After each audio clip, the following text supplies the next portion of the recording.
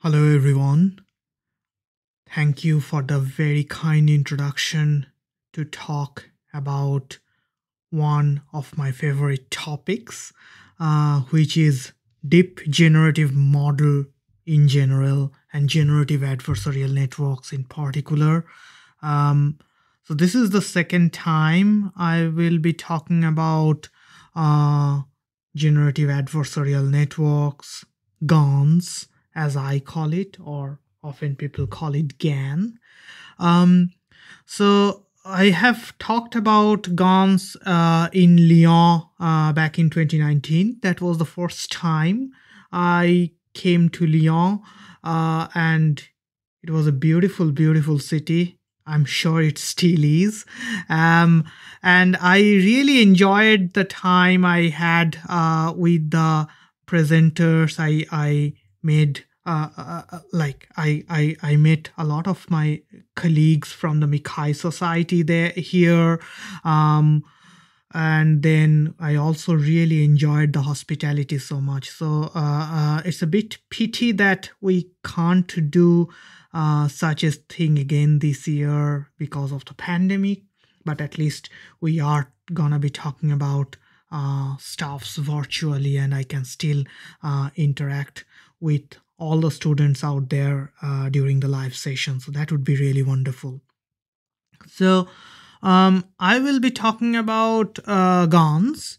And if you can see here, GAN has the generative part, the adversarial part. Now, network is by now everyone knows it's about deep neural networks, okay?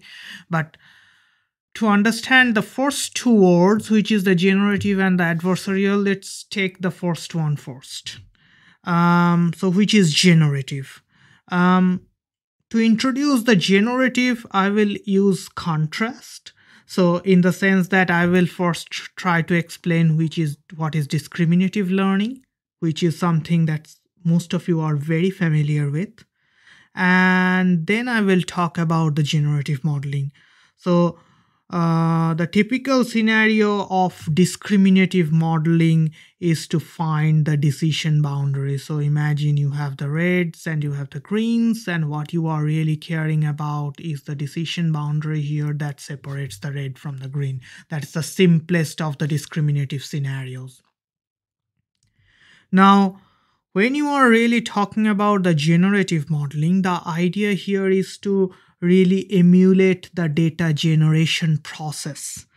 Um, now, really, one way of thinking about it, it could be that if it's visual domain, we are interested in emulating uh, the image generating image generating process and we are interested in really generating realistic looking images um, the idea really is that by generating realistic looking images, uh, we might go one step closer uh, to the actual uh, understanding of the image generation process. Um, a gross approximation could be uh, if your deep neural network predicts classification um, in in medical image context that could be uh, diseased versus healthy pneumonia versus no pneumonia or something uh, in that line. Um, then you can think of it as most likely a discriminative model. Whereas if the network is predicting pretty pictures um, like here for example then you can guess that much more likely, it is much more likely that it will be a generative model. Now, uh, I must say again, uh, I must emphasize this that this is a gross approximation, what I said right now. Um, but gross approximations are there for a reason. They let you really make the bigger blocks of class classes, and beyond that, of course, you can just use your intellect to figure things out. Um, so now the question really is why do we care about generative adversarial networks? So let's start uh, uh, for GANs with the amazing results that it can produce. Um, and this is really something which is a, a very interesting for GANs because uh, before that, uh, generated generating image of this quality was almost unheard of so I will start with the first example where you can see what we are trying to do is super resolution. And if you are using standard bicubic method to super resolve uh, an image, which has a lot of uh, um, high, uh, like lots of texture and high frequency components and details, you see it's rather smoothed out. Um, the super resolution with ResNet is certainly better, but it's still missing details, for example, on the headgear versus when you are looking at the super resolution GANs. Uh, these are pretty early work, so things has moved on to much bigger and better things. But just to give you the fact that if you look here, it's uh, much more details are preserved here. Another example is basically translation, image to image translation. So you see here images may be taken with your smartphone and you are trying to see or you are trying to think how uh, one of the painters, be it Monet, Van Gogh or Cezanne would draw such a picture. Um, you have to remember like remind yourself the fact that uh, uh, you won't find uh, Monet to draw you a picture like a painting exactly based on whatever smartphone photograph you are you have taken. You have a finite set of Monet uh, uh, um, paintings out there in the world, and you really have to learn the style, the artistic style of Monet to really accomplish this uh, task. And what you are doing you are putting it through a dumb neural network and it's doing it so that's kind of astonishing um, the last thing I typically ask uh, if I'm doing uh, this lecture in the class that which one of these faces are real and which one of these faces are fake. Um, so I guess most of you uh, can imagine the answer is that all of these are fake faces. These are fake faces of people who don't exist. But if you see the hyperrealism, the, the, the, the amount of details that is there, it's no way to say that like you you can't simply have uh, any like way to really claim that these are not uh, real people. So GANs can produce result of spectacular proportions. Um, but this is about medical imaging right? So one question you can ask is what's there for me in such a thing? So i will start with two uh, published research on GANs for medical imaging. Uh, so one of the first one I will talk about it's in this left one where uh, uh, my colleague Jelmer uh, he proposed this idea that uh, you can generate um, fake CT pseudo CT we often call it, from MR images. Now, you might be uh, asking what is the motivation of such a thing. Uh, uh, so, the motivation really is that uh, when you uh, do radiotherapy planning, for tumor ablation or uh, tumor resection, for example, you plan all those in in the CT images. But the CT put the patient into a lot of radiation. Um, on the other hand, MR uh, does not have like does not uh, uh, uh, put the patient into so much harmful radiation.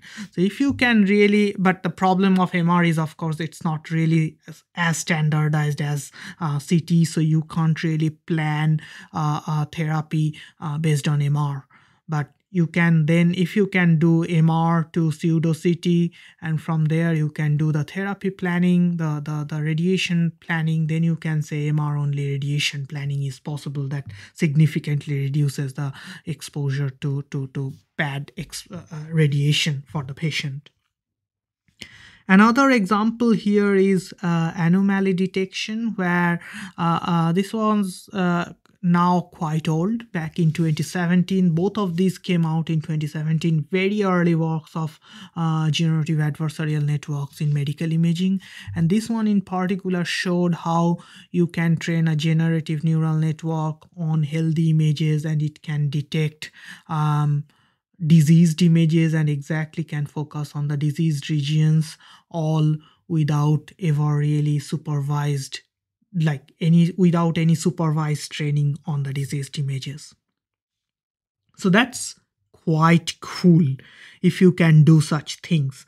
Um, so yeah to answer the question of what's in it for you the first thing is that it's becoming more and more common that uh, generative adversarial networks can be helpful in generating proxy for uh, training data.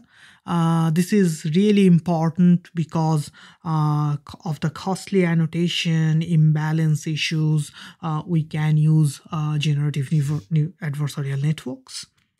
Um, the second problem that we typically face is similarity metric. So whenever you go into the problems of comparing two images, um, we have to use some form of similarity to compare two images.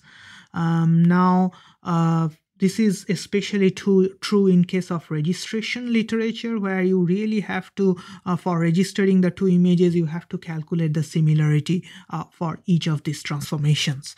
And whatever hand uh, crafted uh, feature or metric that you use for uh, uh, similarity that's never good enough. There is always something missing. This discriminator of the generative neural network can provide a way or generative adversarial network can provide a way of actually solving this problem. And finally, domain shift is a big, big problem where adversarial uh, training strategy of the uh, generative adversarial network can be quite handy uh, in solving the problems. So considering I have successfully captured your attention by now, um, let's see what I'm gonna be talking about today. Um, so I'm quite inspired by Marie Kondo, who is the tidying up guru. And I basically tried uh, to design this talk as a pedagogical dissemination of GANs uh, to be applied in medical imaging. Um, so I'm trying to really tidying up GANs in a way so that it's palatable.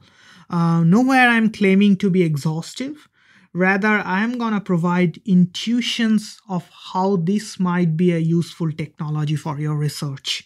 Um, after listening to this talk, if your creativity starts flowing uh, towards new possibilities, I would consider that as my success. I will also talk about uh, uh, some um, venues where you can publish those uh, creative uh, uh, results. Um, but all in good times. So the way I have divided uh, this talk is again based on uh, Marie Kondo's way. So the first part of it, which is always the most difficult one, is your closet, where you just dump your um, clothes. So we, in our case, the closet is the theory and the key GANs and how these are derived.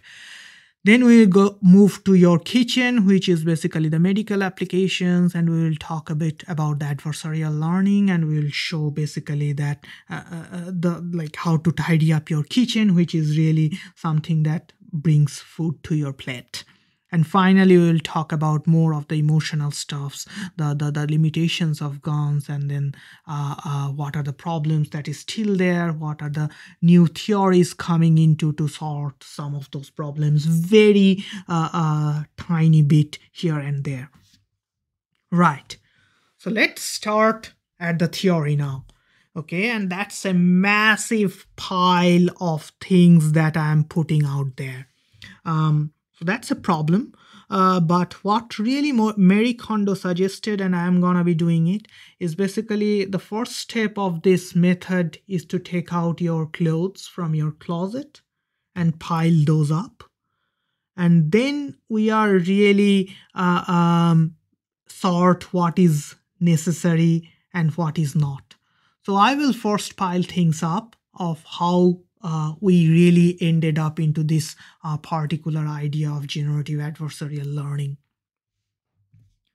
So the idea is to sample a seed from a simple distribution. Uh, you can think of it as a multivariate Gaussian and then learn to transform this seed, this noise vector uh, through a function uh, g to an image. So this image is uh, g of z.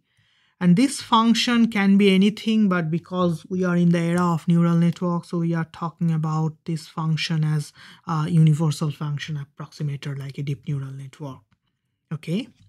Um, so this entire setup is then uh, an unsupervised setup where uh, you are really uh, having images maybe but no annotations is really required um, the thing though is to really learn something uh, for this black box generator G, um, we have to have something which uh, is uh, a critique function. So it's called perplexity. Uh, perplexity is the probability distribution function for the generated distribution.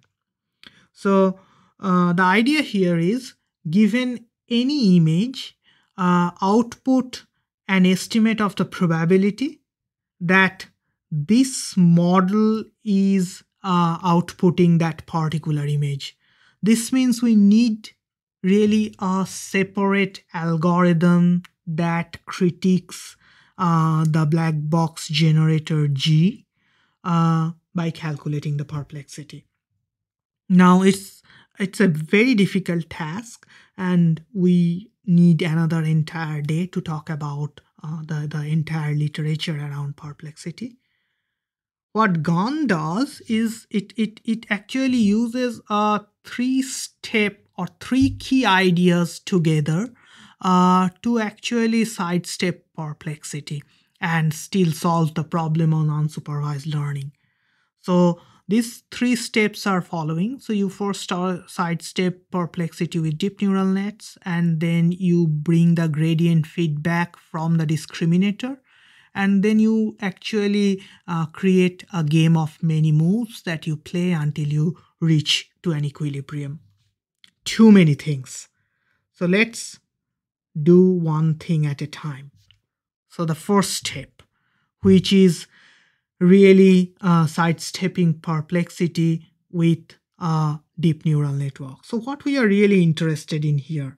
Uh, so the, the what we are really interested here is that uh, we have two probability distribution. Uh, one is the probability distribution of real images and the other one is the probability distribution of synthetic images generating through this pipeline. And we are really interested in comparing two probability distributions. How can we do it? Um, we can do it with a deep neural network D uh, that maps images into 0, 1.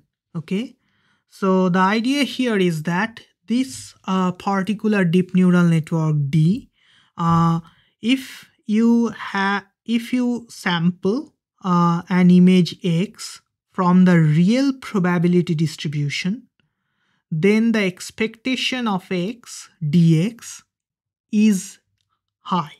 Okay. And if you are really sampling the X from the synthetic distribution, uh, the expectation of dx is low. Okay. So the idea here is that uh, uh, because the deep neural networks are so good at at uh, uh discriminating uh, uh, cat versus dog, you can imagine. So why not it it will do the same job of discriminating real versus synthetic images because anyway it is so very good at it. And we can use uh, backpropagation to train such a neural network. We already know about it. Okay very well. But now comes the second part. What we are really trying to do, uh, now we are giving gradient feedback from discriminator back to the generator. So the think of discriminator as a critique. So it's a critic function that's saying, okay, the re real probability distribution is far away from the synthetic and it's trying to do it again and again. And whatever gradient it has, that comes back as a feedback to the generator G so that it can do slightly better in the next step. Okay. So what you are really doing is that uh, G of Z, which are the images that's generated. So the synthetic images. Um, so these synthetic images are passing through the uh, D. And then the goal of the generator then is basically trying to make this expectation as high as possible in the other words, its goal is to fool the discriminator. Its goal is to fool the critic by making synthetic images which are almost indistinguishable uh, uh, from the real images in the critic's eye. And since the critic is already very good, it's a deep neural network, so it's great at distinguishing between these two. So the generator is getting better and better. Good. And the next thing then is that basically you can back propagate through D of G of uh, your input. So this entire chain you can really back propagate. And then it becomes a game of many moves, which you can really draw that you have these uh, seeds. From these you generate images or you get images from the real world and the discriminator D's job is to figure out whether the images are real or the fake. We can write down uh, this entire setup in a, in a minimax optimization problem um, where the first part is if the images are coming from the real, then the expectation should be as high as possible. So we are trying to maximize D. The second is uh, basically we are trying to minimize, uh, we are trying to maximize d of g of z, or we are trying to minimize 1 minus this form. Uh, f can be uh, many functions, and for quite a lot of functions, it can be shown at least theoretically that the equilibrium exists at zero sum under sufficient assumptions. Um, so for the first paper that came out, so that's now really famous from Ian Good Ian Goodfellow uh, uh, back in 2014. Uh, he used uh, this function f as log logarithmic function it's a, a, monotonously monotonously increasing function and if you take the derivative of log x you get 1 over x so uh, that basically says that our training is quite sensitive to instances that defines awful. Um, you can also use uh, uh, f of x as simply x. In that case, you are penalizing uh, uh, all, all the samples equally. You are not really differentiating from one type to another.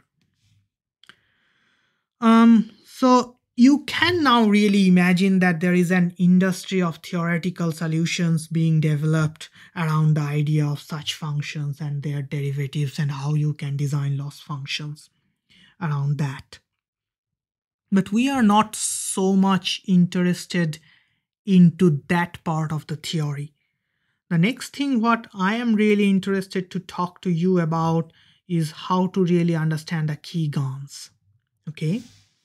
So to understand the key GANs, uh, uh, we have the theory and then we clean it up uh, uh, uh according to the Marie Kondo's way and really tidy GANs into bringing, into really keeping those minimal things that brings joy to yourself. So as marie Kondo is showing uh, whatever makes you feel go like this that that's that's the sort of minimal thing that we want to keep around. Uh, um, um, so, and of course, probably you are more like me whose uh, joy lies in the engineering recipe of the minimal things that we need to do to make things happen. You are not really caring so much into the uh, uh, theoretical part of it. So my engineering recipe to understand uh, general purpose GAN literature is the following. You can focus on any of these general purpose architectures, uh, uh, uh general purpose GANs based on their input outputs, the architecture they used, and the loss function. These just these three are enough uh, to give you an intuition of uh, uh, really how to navigate through this jungle of GAN engineering and application papers. All right, so we will understand uh, three key generative adversarial networks, three key GANs using the recipe uh, that I just uh, proposed to you. Um, so these three are the DC GAN, conditional GAN, and cycle GAN. Uh, nowhere I'm claiming again to be exhaustive. Rather, I'm gonna provide you intuitions of how to think uh, in terms of these blocks um, and rather the, the, the details of the convolution kernel that you can use or the sort of activation function that lead, leads to whatever performance uh, uh, it's it's it's quite important um, but you really can't appreciate it without having the global view of generative adversarial networks. So in this talk, I will be mainly focusing on that global view. And um, really, it's also quite difficult to think of the technology and how it might be useful without having the global view. So in a way, even for your problem that you wish to solve, you need to have this global view. Um, so um, let's first see about the uh, uh, deep convolutional GANs, DC GANs. So this is the first uh, GAN architecture that actually generated quality images. Um, so this is unsupervised representation learning. And the idea here is to solve the problem of generating realistic images uh, from uh, looking uh, uh, uh, from these random seeds. So what really uh, they ended up doing that uh, uh, they ended up proposing uh, latent representation learning that can produce such images. And one thing people might ask is that you have such over parameterized big big neural networks and you only have so little amount of data to train your network. So maybe the network is just remembering those data points and not learning any representation at all. So what they really showed is the following that if you are really uh, doing interpolation in the latent space uh, you will notice that all those points are actually generating images that that actually shows that uh, uh, these are realistic. So from here to here this is not in between. There are random images. These are really plausible images coming from the similar places. And you can think of uh, uh these interpolations. So going from uh, uh, a bed all the way to something like a, a view of of an inside of a room this is quite plausible and sometimes a window is appearing stuffs like that um so great one of the very first works that showed this is possible um how did they do it so the input here is a, a hundred dimensional multivariate Gaussian and the output is the image of course. The architecture they followed is quite simple, the overall pattern. But if you are really going into the details of it, you will see that they are using these deconvolution ideas from the very earlier on. Uh, the, the, the input, of course, is 100 dimensional uh, Z, as we talked about, so 100 dimensional multivariate Gaussian, and the output is 64 by 64 images. And you can see three because these are color images, so three color channels. Um, the loss function was similar to the Goodfellows and it produced pretty nice results. Um, then the other idea around uh, uh, this was that we can actually have certain information about the data Uh, so, for example, uh, uh, we might have some supervision. It might not be very detailed, but we can probably group whether like the zeros are different from ones, twos, and threes, and stuff like that. So, this kind of supervision we can actually bring into our uh, structure of how you are learning the system. So uh, this is the idea of conditional generative adversarial networks, conditional GANs. Um, yeah, and this is actually quite realistic because it's unlikely that you will uh, solve be solving a problem where you have a big data set of pictures and you don't have any information at all. That's really unlikely to happen. Um, so if we are really trying to put a cycle GAN in our recipe, we see that we have the uh, multidimensional Gaussian and the condition of 0 on 2 dot dot dot uh, uh, in, in case of if it's a, a MNIST uh, uh, handwritten uh, digit classification problem and output is still image. So the way the architecture is designed is the following. Um, you have your multidimensional Gaussian coming in, but also the condition so the condition and the multidimension Gaussian together is producing the particular image or set of images. Um, when it comes to real image, based on that condition, you are drawing the set of images that belong to that class. So let's say if your class is 7 the condition is 7 and then from the random vector you are generating many sevens and then you are looking at actual sevens handwritten sevens and then you are comparing it on the discriminator if it is real or fake. The loss function was quite similar to the uh, uh, Ian Goodfellows. Uh, the main difference was that uh, uh, this condition is appearing at both sides, both at the side of the discriminator as well as the side of generator. That's why this condition has connection to both the generator and the discriminator through the real images basically. Um, so this was relatively straightforward from DCGAN to cycle GAN. The real leap forward, I would say, came when we moved from this realm to the cycle GAN realm. So cycle GAN really changed the game altogether. And the idea here was quite revolutionary at the time. And the idea here is that how to incorporate unpaired images for style transfer or domain transfer. So imagine you are trying to transfer the style of a horse into a zebra. So no self-respecting zebra will ever give you a pose based on a horse picture that you, you show it to the zebra that that's not how it works. So you simply won't have a big data set that you really need of for uh, a supervised learning where you have pixel to pixel matches between horses and zebras with the same background same stripes and all. That's not gonna happen ever. But that's not necessarily mean you cannot uh, make a horse look like a zebra and back again.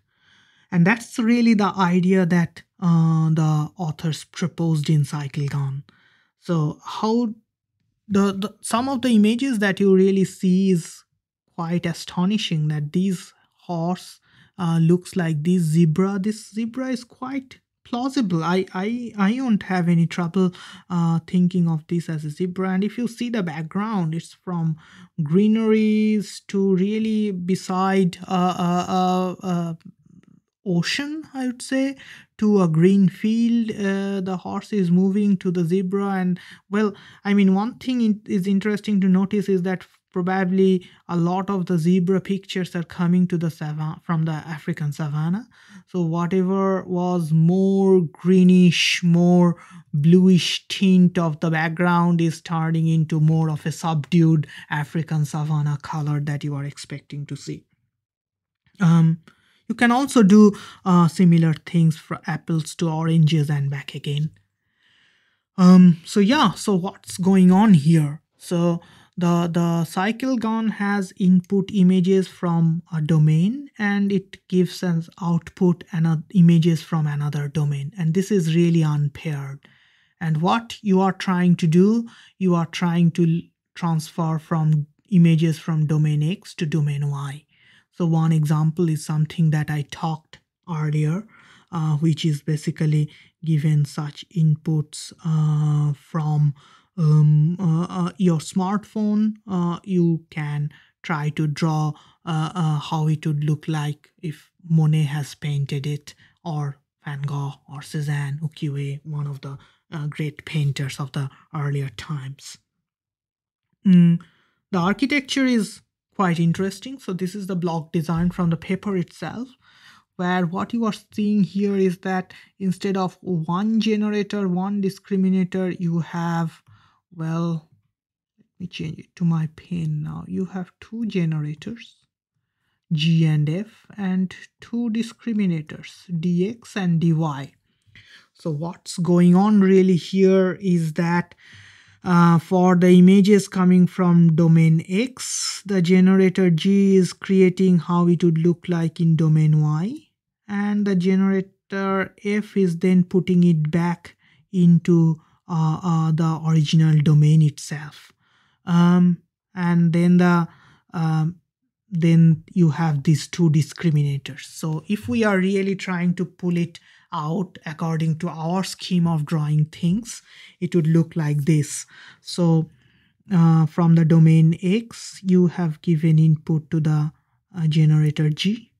Um, the generator g has produced an output y and then you have real images from domain y both of which are going through uh, uh, to the discriminate discriminator dy which is calling whether it's real or fake and these generated images then coming back through the uh, uh second generator f and going all the way to here and then you are trying to figure out how similar it is to the actual uh, uh, images from the domain X.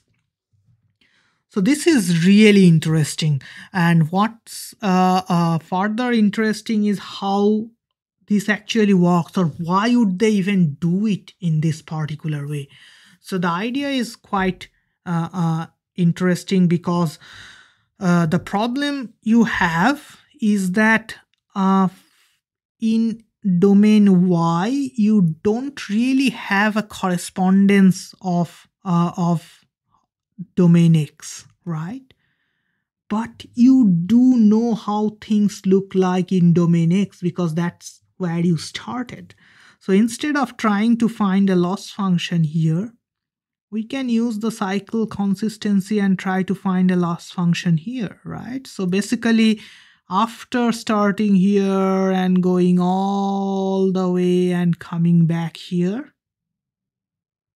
ideally, I should look like the same thing. So if for a data point x, uh, uh, you can think of it as the data point x, uh, uh a person from a particular country went to another country uh, for traveling and came back ideally that person should stay the same or the nationality maybe uh, should stay stay the same if that's not the case then you can measure that difference and uh, that difference can give gradient feedback to all these networks and that's the big idea of cycle consistency that really lets you uh, do things which almost sounded fantastically impossible beforehand.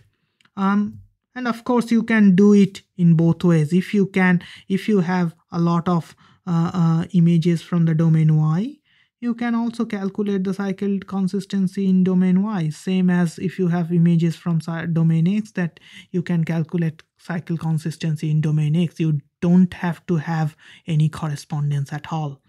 And that's really is the most interesting thing about uh, cycle GAN that lets you do things which people thought almost impossible um so if we are really putting all these into a big uh, uh, table of summary uh, of the most important generative adversarial networks, we see that we have inputs, which can be just the uh, uh, seed, seed and condition, or images.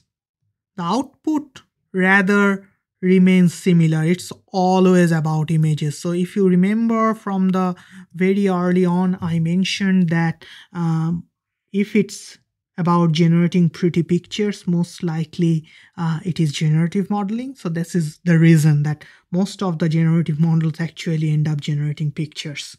Um, we talked about architecture starting from something quite simple with only a seed, seed plus condition, we go all the way from domain to domain.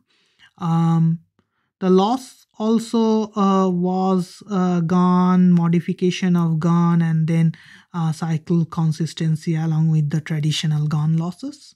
Um, that's that's roughly what it was. So it you are quite unsupervised to some form of conditional supervision to all the way uh, almost something fantastic which is uh, style transfer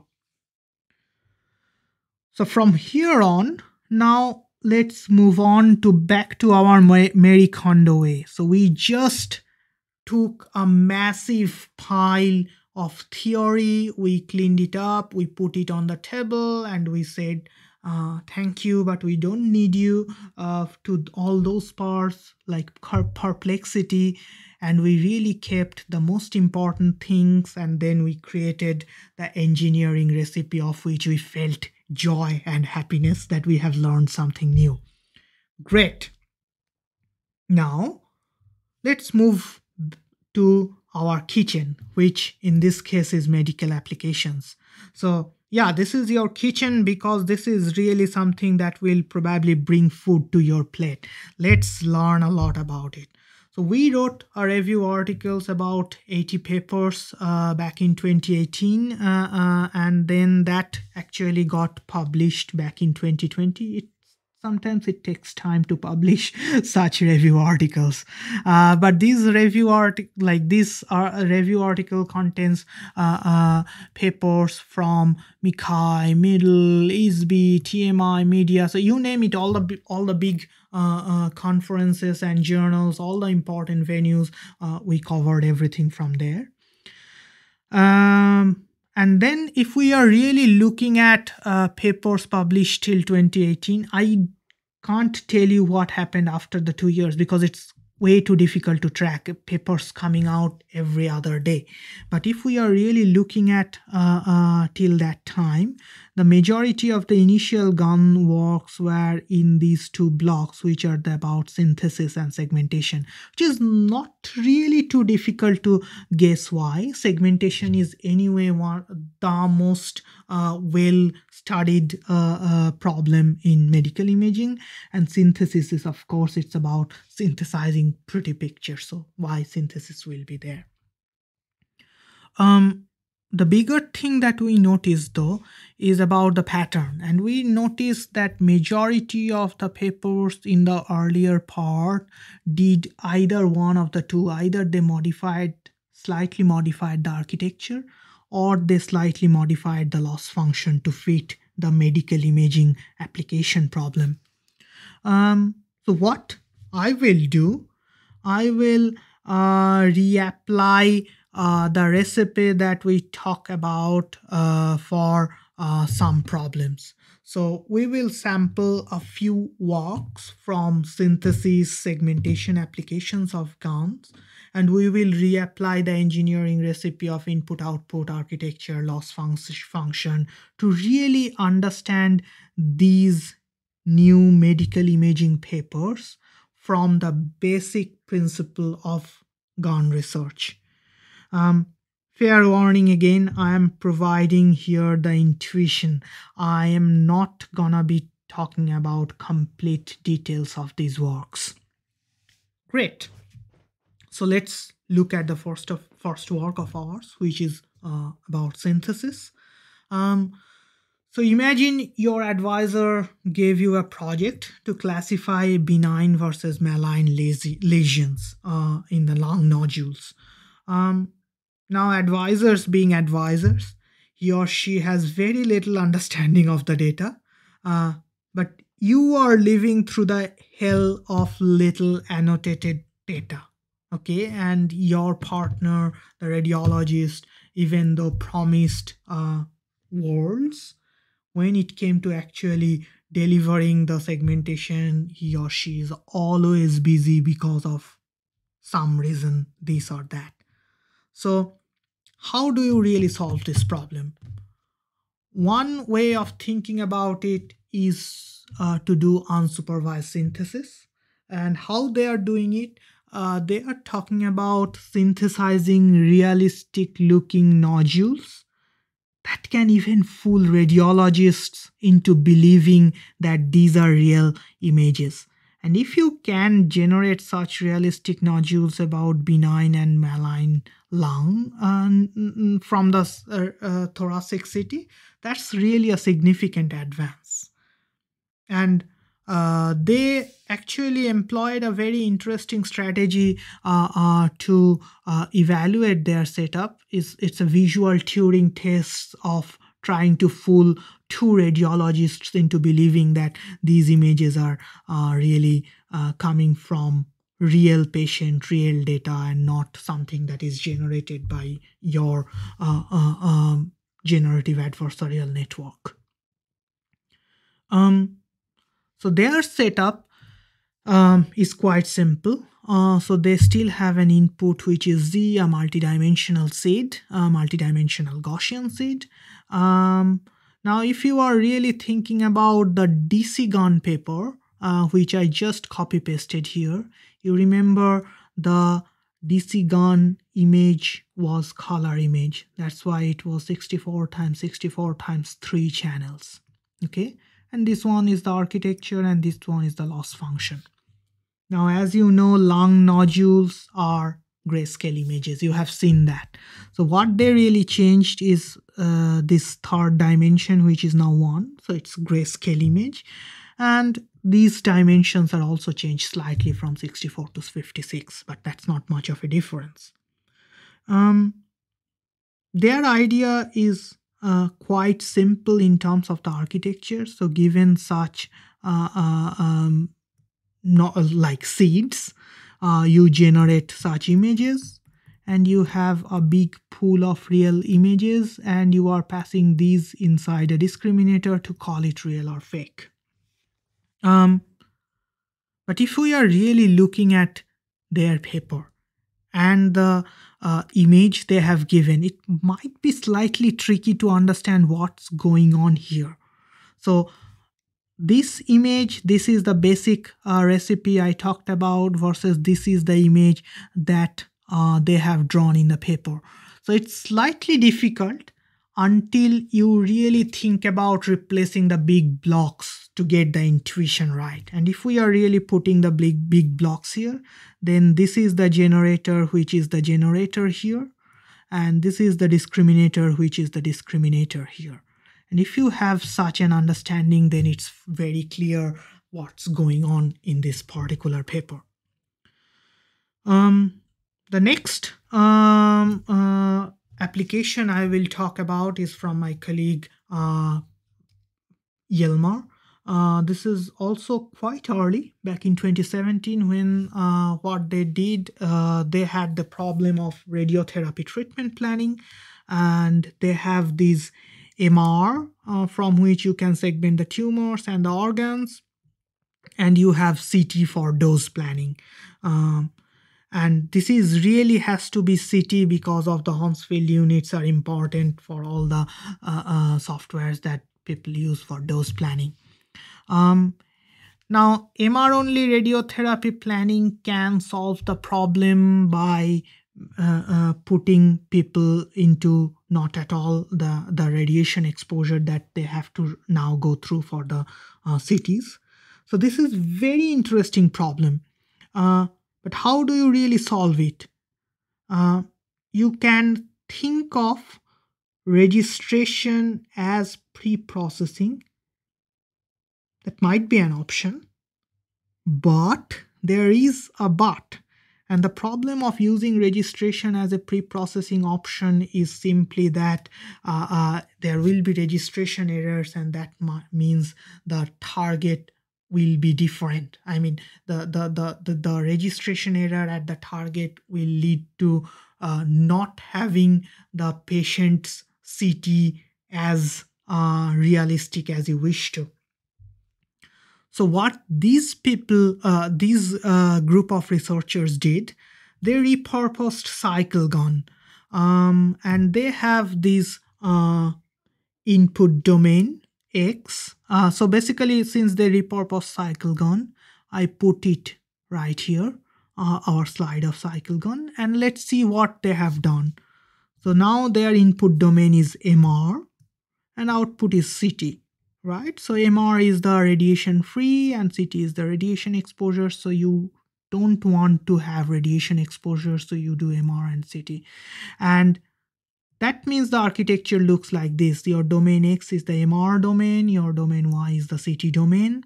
And then your loss function is cycle loss uh, with slightly modification of cycle loss with the L1 norms of at the MR side and the CT side. Great.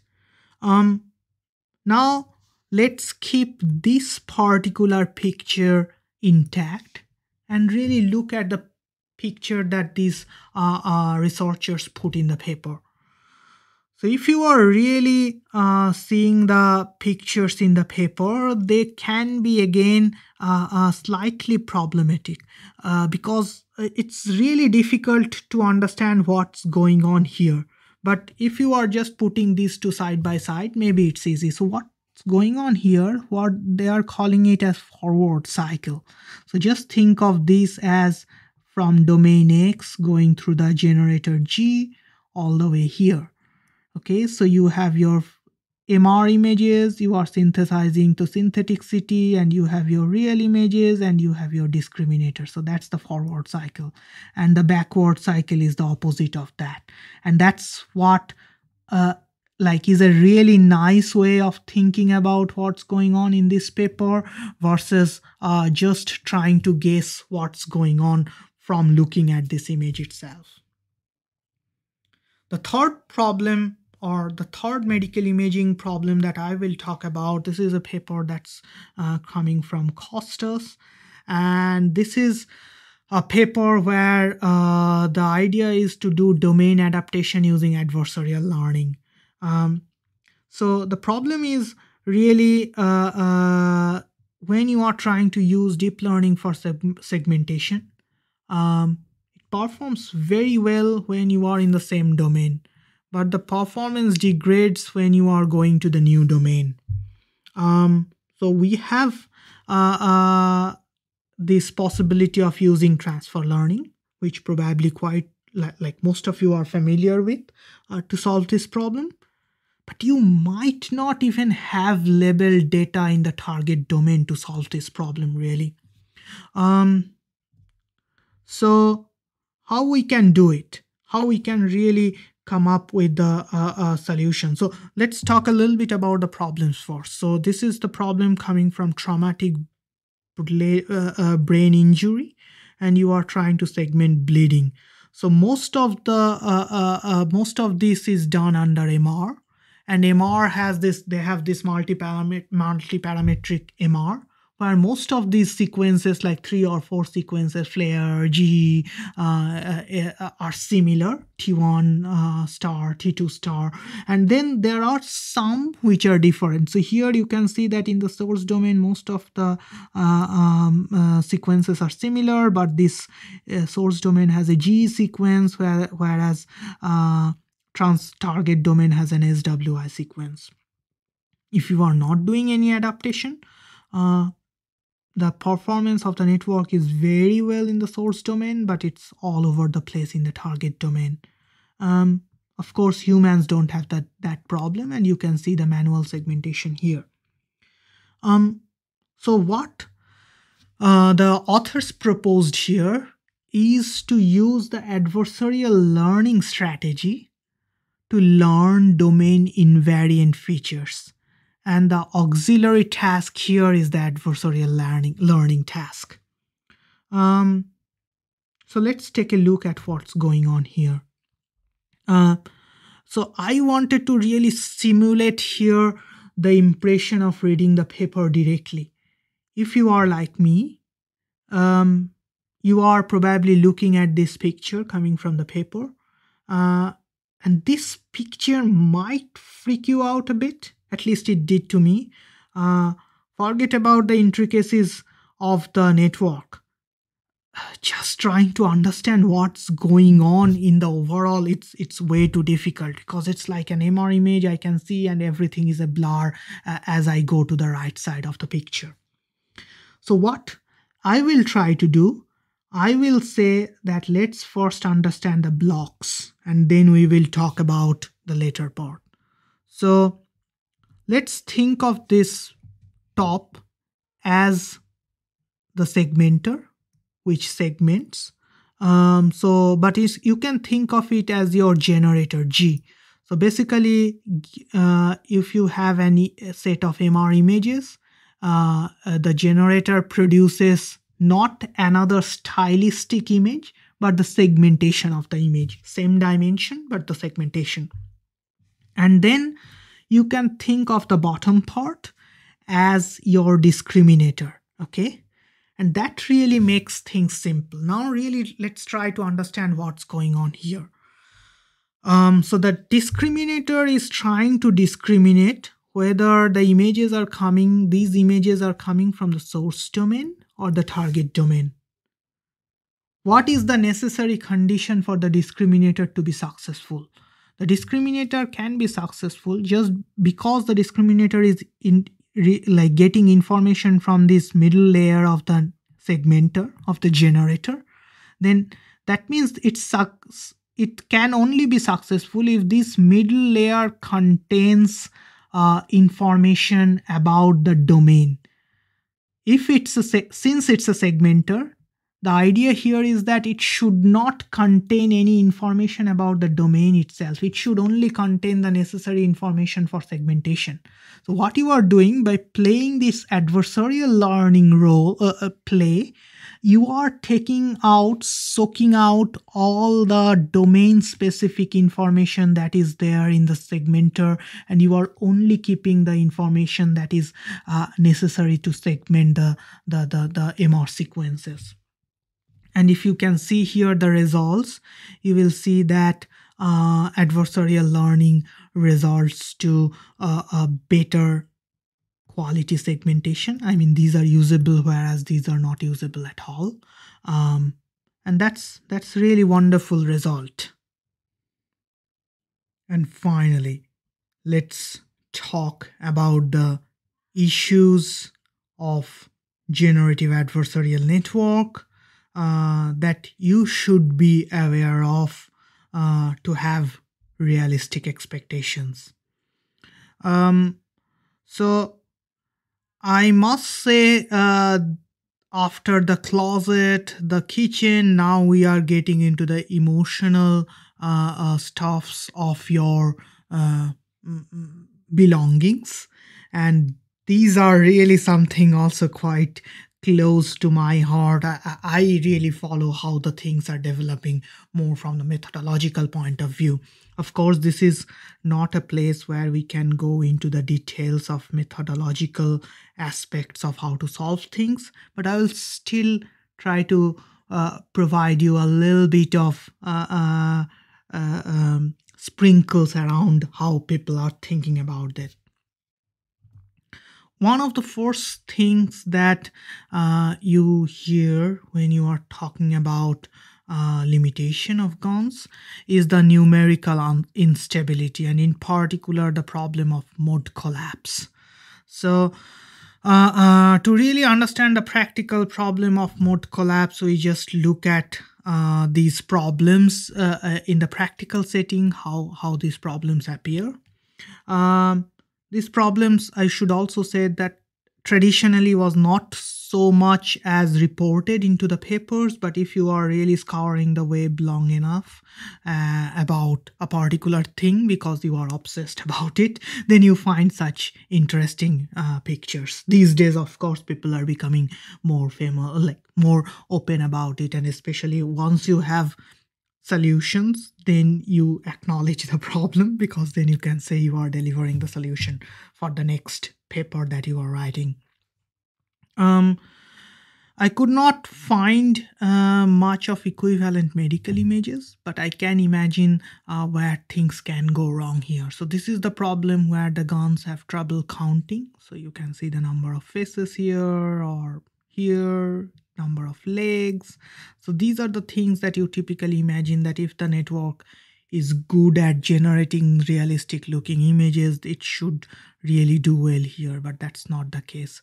So in terms of medical image equivalent cases you can think of if you are really trying to uh, uh, do something about the pathological images and then the, the number of cells that you see in a uh, uh, um, in a pathological image. That that that might be trickier if if you are generating such weird Im Im image information the second one really is about perspective. It's almost Picasso-like uh, distortion of perspective that you you see when uh, uh, these uh, uh, generative adversarial networks fail. Um, a med medical equivalent could be cross-domain synthesis and where perspectives gets distorted. And finally, uh, it's about the global structure. So when we think about the real world, we have a general idea of the global structures of things. That's not so much about GAN. So you can see a dog which barely looks like a dog, or how this dog is kinda shifted and folded and I don't know, twisted in a certain way. Uh, same here. So we can put all these things under the common symptom of mode collapse um, where basically if you have more uh, uh, samples from one mode and less from another these kind of weird things might happen. Um, there are also other explanations but mode collapse is the one that you will hear quite often. Um, i argue and many others argue is uh, really the core issue is training instability so if the training is not stable enough, um, you will always encounter such issues. The problem though is uh, typically if you have such an over parameterized setup and then so much of it is going on uh, around these uh, big problems of image generation in a higher dimensional space you don't really know which sort of algorithms that's being used for training GANs are actually stable and which are not. So uh, there is this one very interesting paper about GAN convergence. It's called Dirac GAN, and that talked about really breaking the problem down in its core form. And it says basically you have a generator which is basically a distribution uh, that you are trying to generate, which is the Dirac del delta function or the Dirac theta. So you have the p theta, it equals del theta. Um, and the discriminator is a linear discriminator of uh, parameterized by phi or psi. Uh, so basically we have this two parameter family of theta and psi and we are trying to learn uh, data distribution del 0 so training data is always 0 so basically that means you are looking at 0 0 equilibrium. So we have uh, uh, here uh, uh, such a setup where you can think of center of the images is the 0 0 and then uh, you have one dimension of it is theta and another dimension is phi. And you can like because it's so low dimensional such a simplified setup you can just put many particles. So just think of it as many different initialization of your neural network. And what then you can see is that for different algorithms how the convergence works and we have these beautiful beautiful uh, uh, visualizations of this convergence that's created by jonathan uh, Brast who was uh, uh, taking one of the lectures that i was giving. And he came up with these beautiful visualizations. It's it looks good but what's really going on here um, so I did not really talk so much about the extensions of uh, algorithmic ways of GANs, but because I guess a lot of you are have advanced knowledge, so some of you have heard of the wars Wasserstein GANs and Wasserstein GANs with gradient penalty stuff like that to to solve the problem of traditional GANs. So let's see from the training dynamics. Uh, these three things and of course as you can see from the top uh, none of these three actually converge. So this is the Wasserstein GAN, which was an extension of GAN, and then this gradient penalty is the modern version that people use.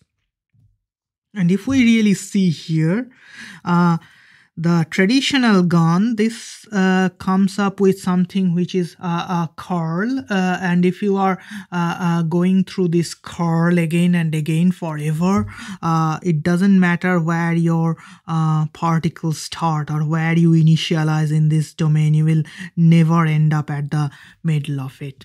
Um, we can see the Wasserstein GAN that has a particular let's say numerical um, how to say it numerical hack that they did to make things happen. So that that, that has a particular assumption uh, assumption about the function that is it's about the continuity of the function. And they, they did had to do this numerical hack. So that's why you see things cut from here and here. But that doesn't solve the problem that we talked about. Um, the gradient penalty is also trying to go in uh, uh, in a slightly different fashion but the most important thing is like when you think of of so many different initializations how many particles ended up at the center 0 0 the equi the point of equilibrium of the minimax game. For all three none of the particles none of the initializations really uh, led here. So what really does actually converge. Uh, so there we can uh, uh, talk about so i briefly mentioned these two uh, algorithms. Uh, one is the instance noise and another is the instance noise and another is the consensus optimization. So here you can see many of the uh, dots. If you can see these are where the particles are. So all over the place you are starting and let's see how the convergence happens. So both uh, the instance noise and the cons consensus optimization does converge. So it's just probably not enough to think about the big pictures if you are really wanting your algorithms to do well uh, you actually should also think uh, you, if you are really trying to make sure that your GANs generate pictures that are meaningful not just pretty and the distribution it's actually uh, generating from is is also realistic then you have to think also the algorithms along with the overall uh, stuffs. I created a small reading list for you guys. Nowhere I'm claiming to be exhaustive rather i'm gonna provide intuitions again of where you might uh, uh, get some information. So we talked about engineering recipes for three papers uh, uh that that's there. Uh, we also have a living review. Uh, these are the medical imaging papers that we talked about. Um, we have the theory papers more interested ones are can read this particular paper's uh, um, numerics of GANs from which the consensus, consensus optimization comes in f-GANs is a sort of extension of some of the ideas and are GANs created equal is the paper from which uh, this Dirac GAN and this, this um, optimization idea is inspired. There are also blog posts out there uh, so this is something uh, to think about when you are trying to gather information from the web. You really get so many sources and you really don't know which one you should believe in. So I would definitely suggest these blog posts are believable sources uh, written by excellent people who has a great understanding.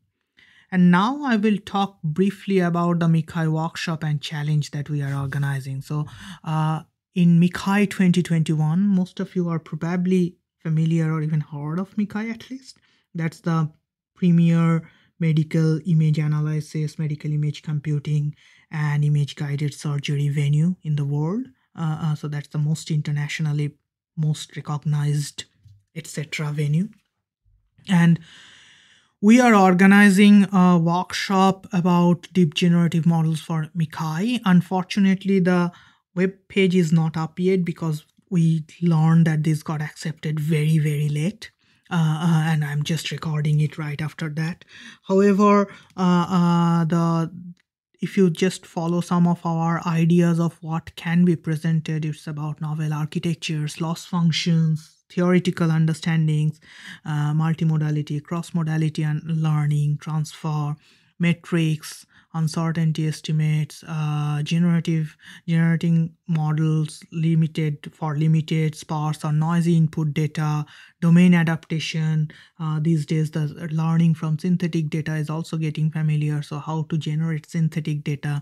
All these are very uh, in topics that we are really interested in.